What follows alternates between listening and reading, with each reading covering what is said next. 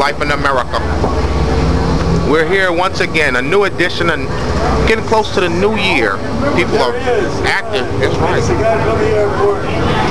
It's Robert Hanna. What's up, buddy? and that's my homie. What's up. It's a new edition. It's got a new laugh. Ha, ha. You like And this is? Life in America.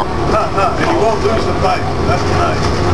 You won't lose the fight. Like that. Yeah, the airport cops the heck out of him. And he loves the guy. He loves the black folk.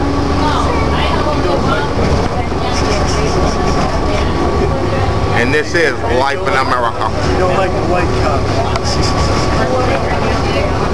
They beat him down. The white cops beat him down. You don't like it. You hear that? But it's a nice school to buy him coffee. Is that a good one? Or are you going to that part out?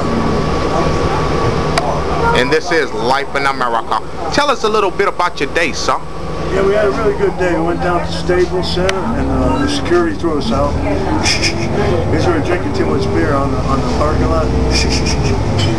Now, me and the brothers, me and the Bloods went down there and the Crips were saying like, you know, it's our turf. They all sell liquid. We have MGP.